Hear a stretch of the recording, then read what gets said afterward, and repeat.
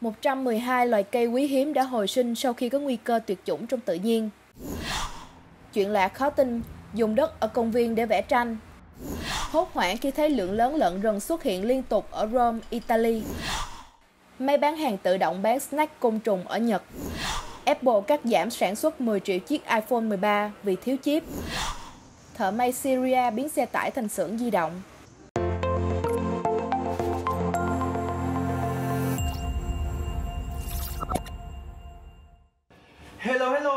Chào các anh em đang ngắm hất trước màn hình của bất ngờ trưa trên kênh Thế giới đây.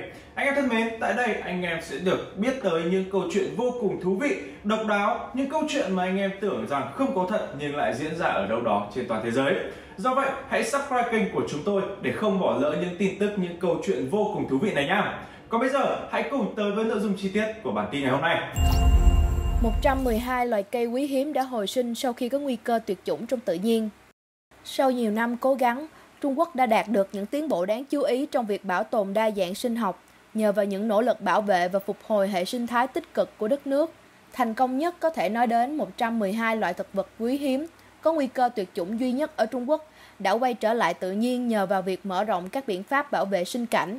Là một trong những quốc gia có đa dạng sinh học phong phú nhất thế giới, Trung Quốc cũng đang đẩy mạnh xây dựng các khu bảo tồn thiên nhiên như vườn quốc gia, số lượng các khu bảo tồn ở Trung Quốc lên tới 11.800. Bên cạnh đó, thông qua những nỗ lực lớn để giúp hạn chế hiện tượng sa mạc hóa, Trung Quốc đã đứng đầu thế giới về nguồn tài nguyên rừng nhờ sự phủ xanh đáng kể. Hiện tại, 90% thảm thực vật và các kiểu hệ sinh thái trên cạn cùng 85% các loài động vật hoang dã quan trọng đang được nhà nước bảo vệ một cách hiệu quả. Những nỗ lực như vậy đã giúp đảo ngược được sự suy giảm số lượng của nhiều loài động vật hoang dã có nguy cơ tuyệt chủng. Trung Quốc vẫn đang tiếp tục tuân thủ đường lối ưu tiên về môi trường và phát triển xanh, đồng thời cố gắng đạt được sự cân bằng giữa bảo vệ và phát triển hệ sinh thái. Trong tương lai, Trung Quốc sẽ đóng góp nhiều hơn nữa vào việc bảo tồn đa dạng sinh học toàn cầu.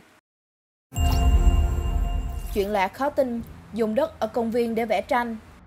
Vẽ tranh bằng đất trong công viên, nghe đã khó tin nhưng đây là câu chuyện có thật của nghệ sĩ Julia Sai, người Syria khi thành phố Rawa của Syria bị tàn phá bởi bạo lực vào năm 2015. Nghệ sĩ Julia Sai đã mong muốn truyền tải điều gì đó qua bộ tranh của cô. Sai nghĩ rằng cô ấy chỉ tạm thời rời khỏi thành phố của mình trong vòng một tuần, nhưng thật bất ngờ khi cuối cùng cô ấy đã ở lại thủ đô Damascus tận 6 năm. Vì thời gian ở lại quá dài nên cô đã dần cạn kiệt để mua màu vẽ. Chính vì vậy cô đã nảy ra ý tưởng sử dụng đất, một chất liệu vẽ tranh duy nhất mà cô có thể tìm được ở hiện tại. Sai chia sẻ, Tôi chắc chắn rằng tôi đã không đem theo dụng cụ vẽ tranh của mình.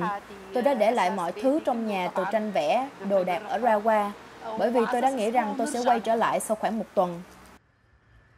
Hiện tại cô đang đi lang thang trong các công viên công cộng để lấy đất. Ban đầu cô phải sử dụng đất vì không còn sự lựa chọn nào khác, và giờ đây tranh vẽ bằng đất chính là niềm đam mê lớn nhất của Sai. Cô nói, Tôi bắt đầu nghĩ làm thế nào để vượt qua những khó khăn hiện tại của mình và tôi đã nghĩ đến việc vẽ tranh bằng đất. Đất là một nguyên liệu vẽ tranh tốt và mọi người đều yêu thích nó trong hội họa. Việc dùng chất liệu vẽ tranh bằng đất giúp tiết kiệm đến 60% chi phí. Sai chia sẻ thêm. Lúc đầu để tiết kiệm chi phí, tôi phải dùng đất bởi vì tôi không còn lựa chọn nào khác. Nhưng bây giờ tôi yêu thích nó ngay cả khi tôi đã có màu vẽ. Hiện tại tôi có niềm đam mê vẽ tranh với đất. Và tôi cảm thấy thiếu một cái gì đó nếu tôi không vẽ bằng đất. Bà mẹ hai con đang trưng bày tác phẩm của mình trong các cuộc triển lãm và tổ chức hội thảo dạy vẽ tranh bằng đất cho trẻ em. Hốt hoảng khi thấy lượng lớn lợn rừng xuất hiện liên tục ở Rome, Italy. Những năm gần đây, ngoại ô Rome của nước Ý, việc nhìn thấy những chú lợn rừng chạy lon ton trên đường phố ngày càng trở nên phổ biến. Loài động vật này bị thu hút đến thành phố bởi những bãi rác thải thường ngày mà người dân không quan tâm tới. Các bậc phụ huynh tỏ ra lo lắng khi con mình phải tự đi bộ đến lớp, trong trường hợp lũ trẻ có thể gặp phải những chú lợn rừng này bất kỳ lúc nào trên đường phố. Để cố gắng kiểm soát số lượng lợn rừng, chính quyền địa phương đã thiết lập các chiếc lồng để bẫy chúng. Kể từ năm 2018, khoảng 1.000 con lợn rừng đã bị mắc phải bẫy này mỗi năm. Stefano Cassini, kiểm lâm viên Lazio cho biết, những con lợn rừng này thường di chuyển vào các khu vực có người sinh sống, có thể gây ra tai nạn xe hơi cũng như mang theo những căn bệnh truyền nhiễm đến cho con người. Mauricio Gubbiotti, chủ tịch Roma Natura, một tổ chức động vật hoang dã của khu vực Rome, cho biết số lượng lợn rừng phải được kiểm soát giảm xuống bởi vì khu vực địa phương hiện tại không thể đối phó với một quần thể có số lượng lớn như vậy. Anh nói, nếu chúng ta không quản lý và kiểm soát được số lượng của chúng, quần thể lợn rừng sẽ ngày càng được tăng lên. Hiện tại khả năng kiểm soát và đối phó của địa phương không đủ năng lực để quản lý chúng. Điều đó có thể gây ra nguy hiểm. Chúng có thể gây ra va quẹt xe dẫn đến tai nạn vô cùng nguy hiểm. Bên cạnh đó, chúng cũng mang theo một số căn bệnh có thể truyền nhiễm sang người. GovBOT cho biết, sói chính là động vật trong tự nhiên duy nhất có thể giúp giảm số lượng lợn rừng. Tuy nhiên, tại Rome lại không có đủ số lượng sói để thực hiện điều đó. Máy bán hàng tự động bán snack côn trùng ở Nhật Có khoảng 20 chiếc máy bán hàng tự động được cho là khá kinh dị vì được lắp đặt tại một cửa hàng ở Gifu, Nhật Bản. Máy không bán những thứ thông thường như đồ ăn nước uống, mà lại là loại snack côn trùng với đủ loại. Menu của máy hiện có dế sấy khô, bánh quy tẩm bột dế, cào cào rang muối, nhộng tầm, sâu tre, bọ lặn, châu chấu chân đỏ, dế hai đốm, vân vân. Ngoại trừ dế sấy khô và bánh quy dế, tất cả đều được chiên giòn và nêm muối. Ông Eiichiro Nohira, 57 tuổi, chủ cửa hàng đặt máy bán hàng tự động, bán snack côn trùng cho biết, tôi muốn mọi người thưởng thức côn trùng với sự tôn trọng thiên nhiên. Côn trùng đóng hộp được bán với giá 1.000 yên, tương đương 200.000 Việt Nam đồng một lọ, bao gồm cả thuế, thực đơn không cố định mà thay đổi tùy theo thời điểm trong năm. Ở các tỉnh không giáp biển của Nhật Bản, bao gồm Gifu, người dân có truyền thống ăn côn trùng như một nguồn cung cấp protein. Ông Noriha mong muốn chia sẻ nét văn hóa khu vực này đến trẻ em thông qua đồ ăn. Theo ông, việc nuôi côn trùng đòi hỏi lượng nước và ngũ cốc ít hơn đáng kể so với gia cầm, gia súc. Thời gian sinh trưởng cũng ngắn hơn, vì vậy chúng thân thiện với môi trường hơn. Apple cắt giảm sản xuất 10 triệu chiếc iPhone 13 vì thiếu chip.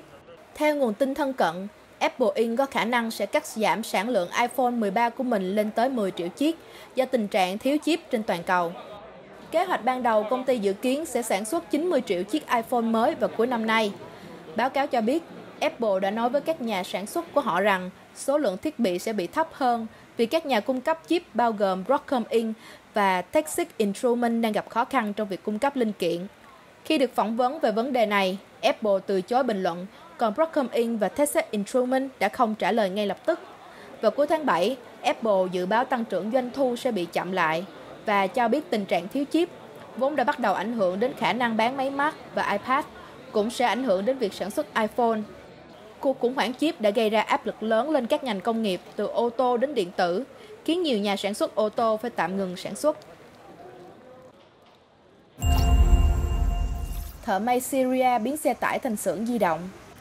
Bên trong chiếc xe tải nhỏ là ông Jamo Alsmari, 65 tuổi, dành cả ngày để may, sửa các cúc áo và khâu vá những bộ quần áo cũ cần sửa. Năm 2012, giao tranh giữa quân chính phủ Syria và phiến quân đối lập đã khiến Al-Smari và gia đình ông phải chạy trốn khỏi nhà, bỏ lại cửa hàng, xưởng làm việc ở Homs. Sau đó đến Damascus cùng vợ và hai con trai với một ít tiền mặt và quần áo của mình. Khi chính phủ tái chiếm Homs vào năm 2018, Al-Smari cuối cùng có thể trở về quê hương của mình. Nhưng những thiệt hại về kinh doanh gian dở nên ông quyết định quay trở lại Damascus. Vài tháng sau, một thợ may làm việc trong chiếc xe tải của chính mình đã truyền cảm hứng cho ông bắt đầu công việc kinh doanh mới của mình ở Damascus. Đây chính là cơ hội để ông vực dậy cuộc sống mưu sinh của gia đình. Ông đã là thợ may trong hơn 50 năm, nên việc có phải làm ngay trên xe tải, ông vẫn rất tự tin. Khi tôi trở về hôm lần nữa vào 3 năm trước, tôi đã ở đó từ 3 đến 4 tháng và mọi việc không thành công. Tôi nhận thấy rằng không có cơ hội kinh doanh nào ở Homs bởi vì không phải hầu hết cư dân ở đây đều quay trở lại Homs. Lúc đi về vẫn còn thiếu điện, một số khu vực trời rất tối, đi lại tối nên không giải quyết được. Vị trí của xưởng di động của Alsmari đã trở thành một địa điểm nổi tiếng đối với hầu hết các khách hàng của ông. Ông cũng trở thành thợ may được nhiều khách hàng người Syria săn đón nhất. Và đó là những thông tin à, thú vị, hấp dẫn mà chúng tôi cập nhật cho anh em trong chương trình ngày hôm nay. Bây giờ, thời lượng của chương trình đã hết. Hẹn gặp lại anh em trong những chương trình tiếp theo của Bất ngờ trưa trên kênh Thế giới ở đây.